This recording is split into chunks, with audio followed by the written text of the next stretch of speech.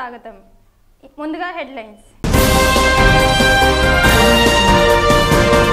అవయవదానం చేయండి పునర్జన్మ పొందండి తెలియచెప్పిన సంజయ్. జల్సాల కోసం ద్విచక్ర వాహనాలను దొంగలించే ఐదుగురు యువకులను అరెస్ట్ చేశాం. కేసు వివరాలను మీడియాకు వివరించిన అర్బన్ ఎస్పీ విజయరావు.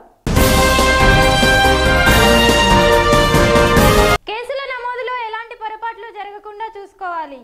అధికారులను ఆదేశించిన రూరల్ ఎస్పీ అప్పలనాయుడు.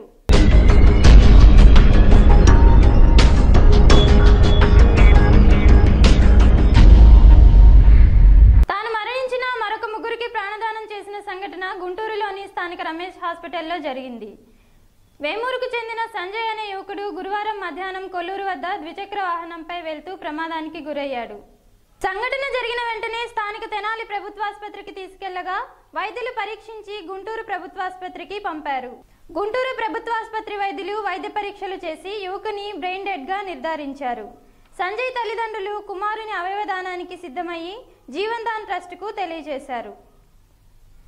జీవన్ దాన్ ట్రస్ట్ ఆధ్వర్యంలో శనివారం మధ్యాహ్నం రమేష్ హాస్పిటల్లో యువకుని లివర్ కిడ్నీలు వేరు చేసి ఇతర రోగులకు అమర్చడం జరిగింది. శోకసంద్రంలో ఉన్నప్పటికీ ఆ తల్లిదండ్రులు చేసిన అపూర్వ త్యాగానికి అనేక మంది అభినందనలు తెలియజేశారు. నా పేరు జొన్న రాజేశ్వరరావు సార్. మాది వేమూరు నియోజకవర్గం వేమూరు మండలం వేమూరు గ్రామం. నేను ఎస్ఐ క్యాండిడేట్ సార్. నేను రేపల్లి ఎల్ఐసి ఆఫీసులో టెంపరీగా ఉద్యోగం చేసుకున్నాను సార్. అయితే నాకు ఇద్దరు పిల్లలు ఉన్నారు సార్. పెదబాబు సందీప్ చిన్నబాబు సంజయ్. అయితే మన గురువారం నాడు మా చిన్నబాబు సంజయ్ వేమూరు నుంచి కొద్దిగా వెళ్తా ఉండగా. బైక్ ఎదురు నుంచి వస్తున్న బైకు ప్రమాదవశాత్తు యాక్సిడెంట్ అవ్వడం వల్ల ఆయన్ని ప్రమాద స్థలం నుంచి వేమూరు గవర్నమెంట్ హాస్పిటల్ తీసుకురావడం జరిగింది. వేమూరు గవర్నమెంట్ హాస్పిటల్ వారు అక్కడి నుంచి తెనాలి రెఫర్ చేశారు. తెనాలి వచ్చిన తర్వాత మళ్ళీ గుంటూరు రెఫర్ చేశారు సార్. గుంటూరు తీసుకొచ్చేళ్ళకి టైం మధ్యాహ్నం మూడు అట్లా అయినట్లుంది అయితే అప్పటికే పరీక్షించిన డాక్టర్లు బ్రెయిన్ డెడ్ అయిందని చెప్పి చెప్పడం జరిగింది. డాక్టర్లు ఆ రిపోర్ట్ ఇచ్చినప్పుడు తల్లిదండ్రులుగా మేము లేము. అంటే మా మేనళ్ళు మా బంధువులు ఉన్నారు. సాయంత్రం మేము వచ్చిన తర్వాత అడిగితే ఇలా జరిగింది అని చెప్పారు అన్నారు. ఇంకా అప్పుడు పొద్దుపోవడం వల్ల ఉదయాన్నే డాక్టర్లు వచ్చారు. ఎనిమిదిన్నర తొమ్మిది గంటలకల్లా వచ్చేసారు డాక్టర్లు. మరలా పరీక్షించి అదే రిపోర్ట్ ఇచ్చారు సార్. వచ్చిన తర్వాత మా బాబు ఎలాగో మాకు దక్కలేదు అయితే సజీవంగా లేకపోయినా మా బాబుని ఏదో రూపంలో చూసుకోవాలి అనే ఆలోచన మీద ఈ మా వాడి అవయవాలు ఇవ్వాలని చెప్పి డిసైడ్ చేసుకున్నాం సార్. ఈ విషయంలో మాకు మీడియా వాళ్ళు చాలా చాలా అంటే చాలా చాలా ఇదిగా సపోర్ట్ చేశారు. అయితే వీధిలో మీడియా వాళ్ళు కూడా చాలా మంచి పాత్ర మాకు చేశారు. ఫస్ట్ నేను వాళ్ళని కూడా అభినందించాలి. అభినందించాలి. అయితే మా బాబు మా దగ్గర లేడు అనే దానికన్నా మా బాబు వాళ్ళు ఎక్కడో శాశ్వతంగా ఉండిపోయినాయి అనే ఇదితో హ్యాపీగా అంగీకరించి ఈ నిర్ణయం తీసుకున్నాను నా పేరు గన్నా బిజ్జ అండి. నా చిన్న కొడుకు మాత్రం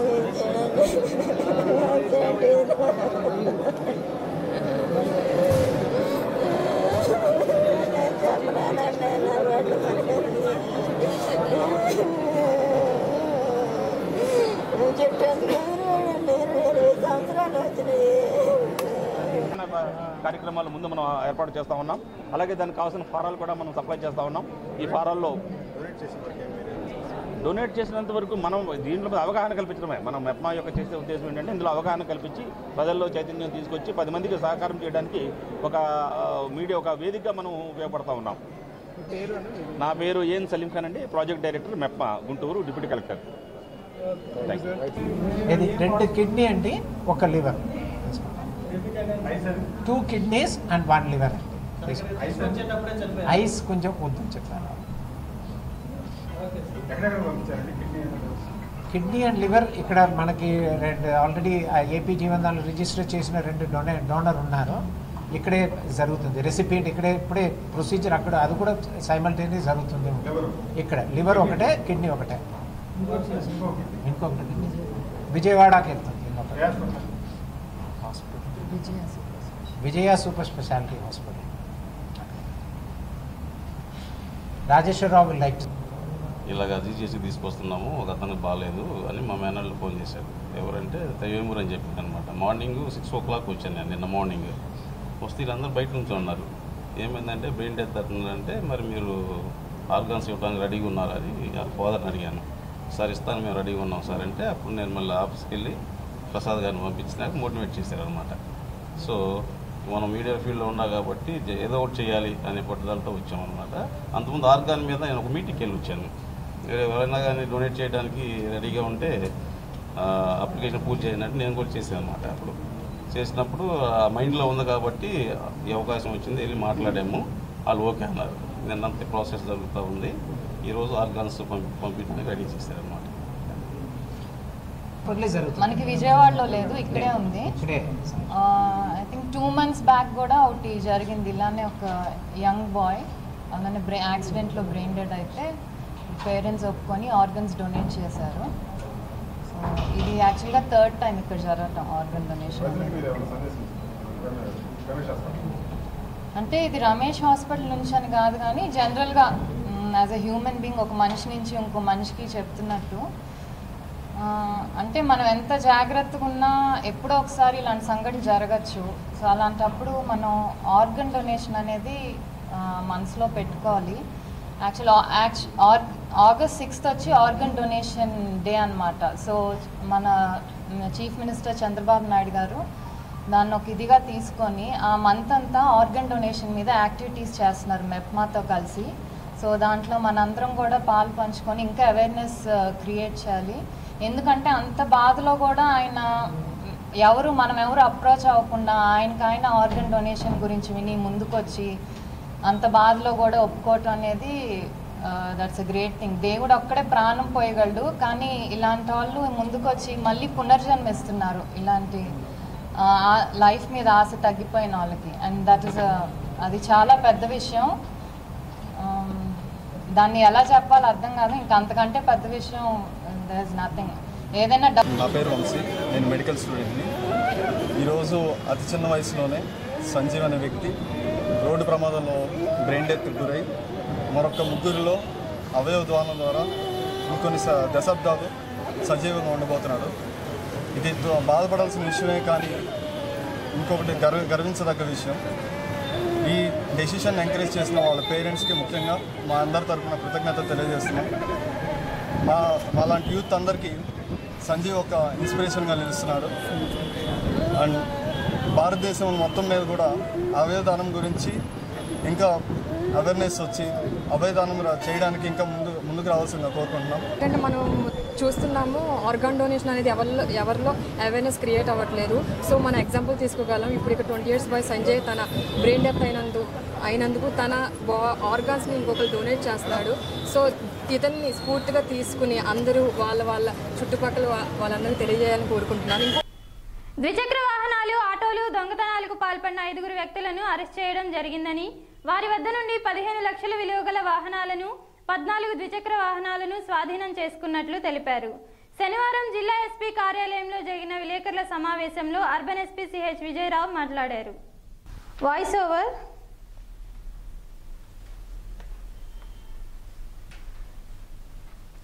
తల్లిదండ్రుల నుండి ఆస్తులను రాయించుకుని వారిని నడి రోడ్డు మీద వదిలేస్తున్నారని ఆయన అన్నారు.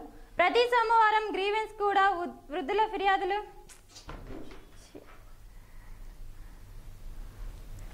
రిపీట్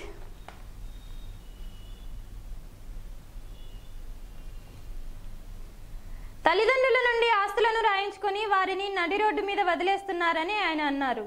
ప్రతి సోమవారం గ్రీవెన్స్కు కూడా వృద్ధుల ఫిర్యాదులు ఎక్కువ వస్తున్నాయని తెలిపారు. మనకి రెండు వేల పద్దెనిమిదిలో అలాగే గతంలో జరిగిన ఈ మోటార్ సైకిల్స్ దొంగతనాలు ఆటోలు దొంగతనాల గురించి ఈరోజు ఇక్కడ ప్రెస్ మీట్ ఆర్గనైజ్ చేయడం జరిగింది. దాని నిమిత్తం మేము ఈ దొంగతనాలకు పాల్పడిన ఐదు మంది అక్యూజ్డ్ పర్సన్స్ని కూడా ఇక్కడ ప్రొడ్యూస్ చేయడం జరిగింది.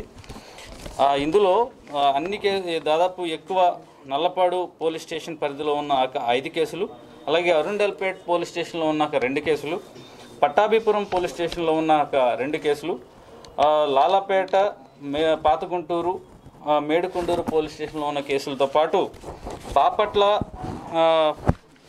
టౌన్ పోలీస్ స్టేషన్లో ఉన్న ఒక కేసుతో సహా దాదాపు పద్దెనిమిది కేసులకు సంబంధించిన అక్యూజ్డ్ పర్సన్స్ని మనం అరెస్ట్ చేస్తూ దానికి సంబంధించిన recovery property approximately more than పదిహేను లక్షల పైగానే వర్త్ ఆఫ్ వెహికల్స్ని అంటే ఇందులో పద్నాలుగు టూ వీలర్సు అలాగే నాలుగు ఆటోలు కూడా మనం సీజ్ చేయడం జరిగింది.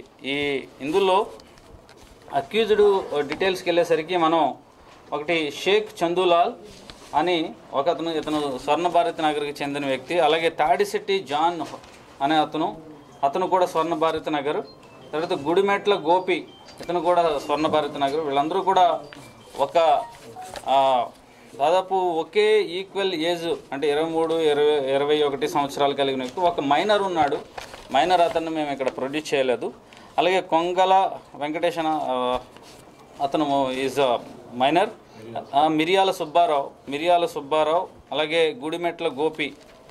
They are major persons that's why you are producing all the accused persons here దాంతోపాటు ఐదో వ్యక్తి ప్రతిపాటి చందు ఇట్లా మన గుంటూరు అర్బన్ జిల్లాలో ప్రధానమైన పోలీస్ స్టేషన్స్ ఏదైతే ఉన్నాయో రద్దీగా రద్దీగా ఉండే పోలీస్ స్టేషన్స్ ఈ రద్దీగా ఉండే పోలీస్ స్టేషన్ల దగ్గర వీళ్ళు కాపు కాసి ఏదైతే ఈజీగా ఓపెన్ అవుతుందో దాని తాలూకా బైక్ తాలూకా వానరు పక్కకి వెళ్ళినప్పుడు ఏదో ఒక పని మీద షాప్లోకి కానీ లేకపోతే ఒక ఆఫీస్లోకి ఇన్సైడ్ వెళ్ళినప్పుడు అదే అవకాశంగా తీసుకుని వీళ్ళు ఈ బైక్స్ని ఆటోస్ని కూడా దొంగతనం చేయడం జరిగింది. దాని తాలూకు మన సిసిఎస్ అర్బన్ పోలీస్ సిబ్బంది constables head constables Ratnaswamy CI garu అలాగే అడిషనల్ ఎస్పీ తిరుపాల్ గారి ఆధ్వర్యంలో మంచి క్యాచ్ చేయటం జరిగింది. ఇదంతా కూడా మంచి రికవరీ. మేము కూడా ఈ బాధితులు ఎవరైతే ఉన్నారో వారికి తగిన న్యాయం చేసామని మా వారందరిని కూడా అప్రిషియేట్ చేస్తున్నాం. ఇందులో కష్టపడి పనిచేసిన ప్రతి ఒక్కరికి కూడా ప్రత్యేకమైన అభినందనలు తెలియజేస్తున్నాం. సిబ్బంది అందరికీ అలాగే రత్నస్వామి సిఐ గారికి ప్రత్యేకంగా. ఇందులో పనిచేసిన కానిస్టేబుల్ హెడ్ కానిస్టేబుల్ వారికి కూడా క్యాష్ రివార్డ్స్ ఇస్తూ మేము వారి ఇంకా మరింత కష్టపడి పనిచేయాల్సిందిగా ప్రోత్సహిస్తున్నాం. ఈ విధంగా మన సిసిఎస్ గడిచిన వన్ అండ్ హాఫ్ ఇయర్లో కానీ వన్ ఇయర్లో కానీ but they have done excellent work. In the in the CCS this is well appreciated and ఇంకా ఏదైతే ప్రోగ్రెస్ ఉందో అది కూడా మరింతగా చేయాలని సిసిఎస్ వారిని మోటివేట్ చేస్తున్నాం. Thank you very much bikes fourteen అండి ఆటోస్ ఫోర్ గతంలో ఏమన్నా ఈ insurance urban SP CH Vijayarao తల్లిదండ్రులు మరియు వయోవృద్ధుల సంక్షేమ సమావేశాన్ని శనివారం ఏర్పాటు చేశారు. ఆయన మాట్లాడుతూ తల్లిదండ్రులను వదిలేసిన వారి సంఖ్య ప్రతి సంవత్సరం పెరుగుతుందని ఆయన అన్నారు. కూర్చోబెట్టి.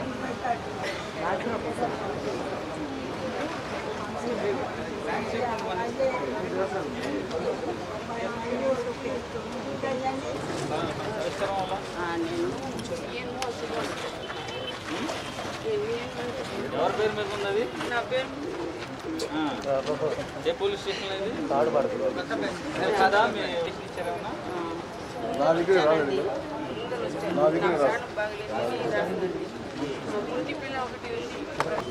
గారు కూడా వచ్చారు. మీ పిటిషన్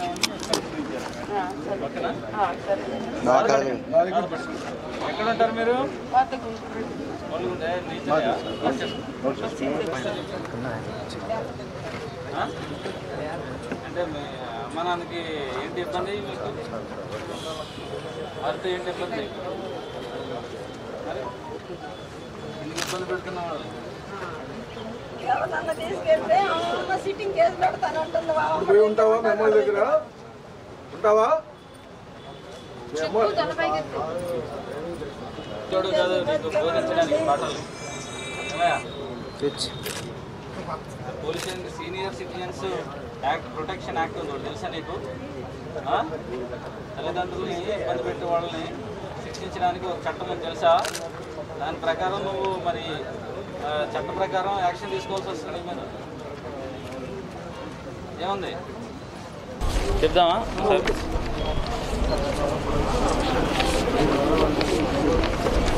గత నమస్కారం అండి.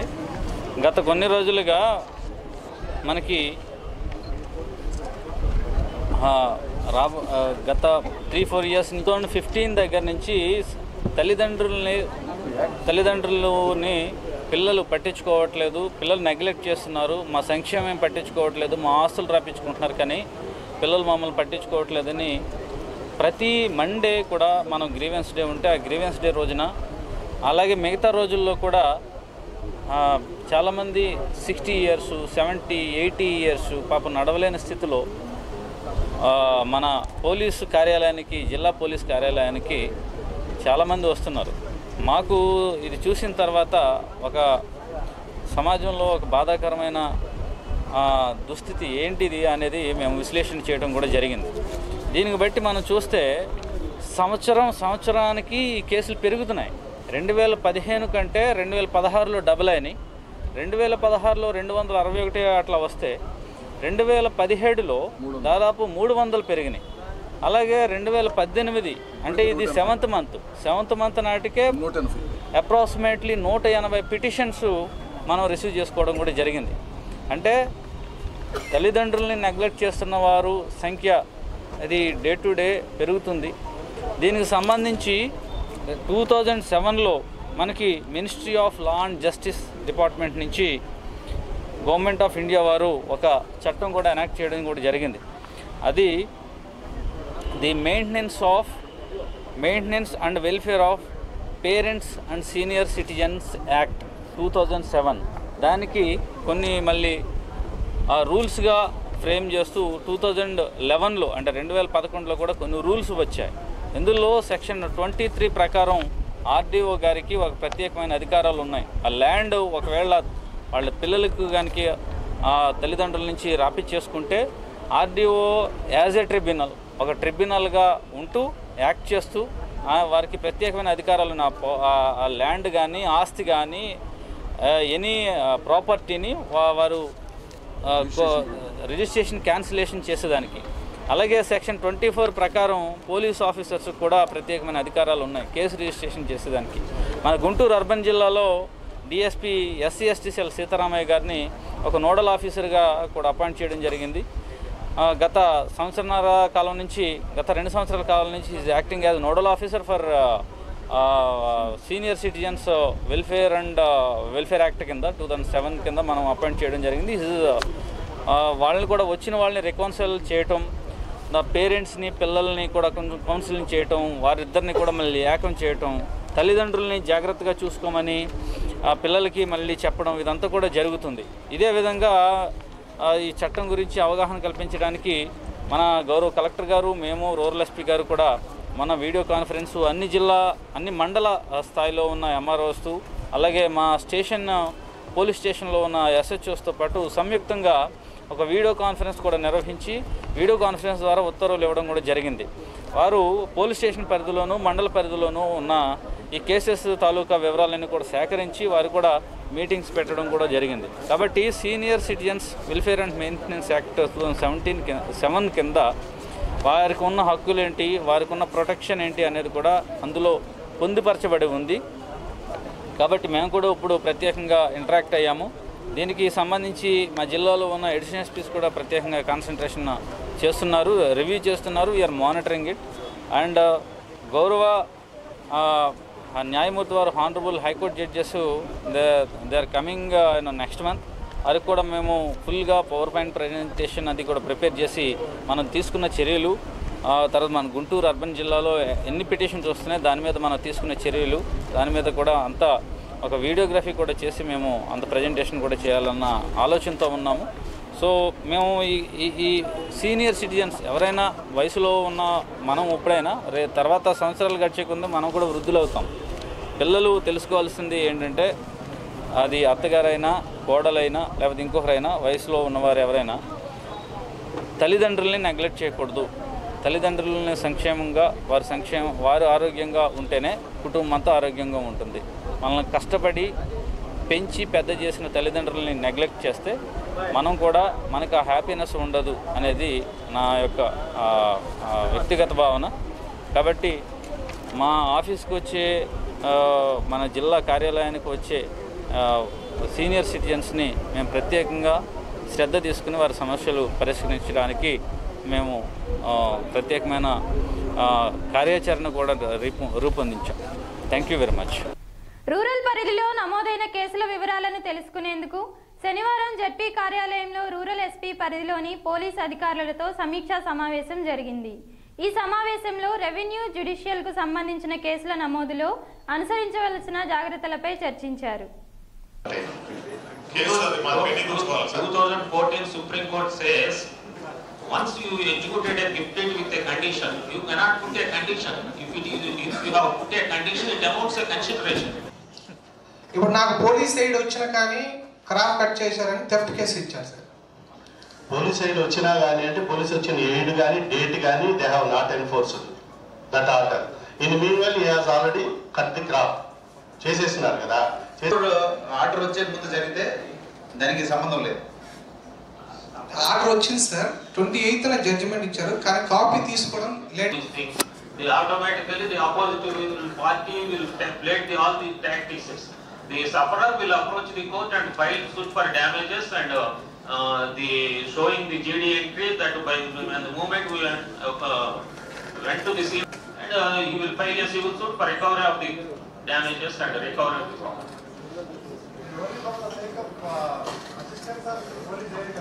police officer a cognizable offense. So what is the value of the వెళ్ళారు పట్టుకున్నారు థ్రెట్ చేస్తున్నాడు పోలీస్ ప్రొసీడింగ్ రాశారు కత్తి సీజ్ చేసుకున్నారు అగైన్ అంతా forty one notice. So caught red handed కేసులకి ఈ ఫార్టీ వన్ వీళ్ళు చెప్పిన ఈ సూత్రాలు వర్తించవు. లారీ లారీ లోడుతో వచ్చిన కత్తులు కిత్తులు బెదిరిస్తున్న కాట్ రెడ్ హ్యాండెడ్ అదొకటి గుర్తుపెట్టుకోండి. దీనికి ఫార్టీ వన్ ఏ నోటీసులు ఇట్లాంటి వర్తించవు we have already executed so many documents course investigation ఎక్కడ ఫార్టీ వన్ ఏ లో బెయిల్ వచ్చిన తర్వాత ఇవ్వకూడదు యాన్స్మెంట్ బెయిల్ వస్తే ఇవ్వకూడదు అని లేదు బట్ సబ్జెక్ట్గా ఆర్డర్స్ ఉంది ఫోర్లో. ఫార్టీ వన్ ఇయర్లోనే ఫోర్లో if any bail order is given then don't arrest him but you are empowered to see him before you forty one year ఇచ్చినా రాలేదు కాబట్టి బెయిల్ క్యాన్సిలేషన్కి మీరు వెళ్ళొచ్చు is not accommodating to the proper investigation of the case that they are doing. Why? Because you have noted if the conditions that the police officer is satisfied. So the satisfaction of the police officer is required as per the act. And uh, a police officer is receiving the cognizable offense, credible information and credible complaint. So after he is satisfying with that uh, and after noting all these, అసలు ఒక reason చాలు ఏం చెప్తుంది చూడండి to prevent such person from committing any further offence and second be for proper investigation of the offence how can you deny? Court cannot deny. For proper investigation, I have to conduct a proper investigation. I have to arrest him from preventing uh, bribing the witnesses. And I have to arrest him that he shall not repeat the offense. All ABCDE, you note it. Because అంటే వినట్లేదండి సరే right. మనం అయితే ఇది ఖచ్చితంగా rectify చేసుకోవాలి ఈ రోజు నుంచి. ఎందుకంటే ఎవరైనా సీరియస్గా దాని మీద ల్యాప్సెస్ ఫైండ్ అవుట్ చేస్తే మాత్రం ఇబ్బంది పడతారు. సో ఇది ఫస్ట్ థింగ్. నెంబర్ టూ మనం ఎప్పుడు కూడా సెవెన్ ఇయర్స్ పైన ఉన్న దానికి నోటీసులు ఇవ్వడం అనేది ఎప్పుడు కూడా చేయలేదు. చేయడానికి ఇంకా కుదిరితే సీజరు చేశారు. What will be happen all to all these proceedings so they that that is a wrong వార్తలు ముగించే ముందు ముఖ్యాంశాలు మరోసారి. నమస్కారం. ట్వంటీ ఫోర్ టీవీ అమరావతి వార్తలకు స్వాగతం. ముందుగా హెడ్లైన్స్. అవయవదానం చేయండి పునర్జన్మ పొందండి తెలియచెప్పిన సంజయ్. జల్సాల కోసం ద్విచక్ర వాహనాలను ఐదుగురు యువకులను అరెస్ట్ చేశాం. కేసు వివరాలను మీడియాకు వివరించిన అర్బన్ ఎస్పీ విజయరావు. కేసుల నమోదులో ఎలాంటి పొరపాట్లు జరగకుండా చూసుకోవాలి. అధికారులను ఆదేశించిన రూరల్ ఎస్పీ అప్పలనాయుడు.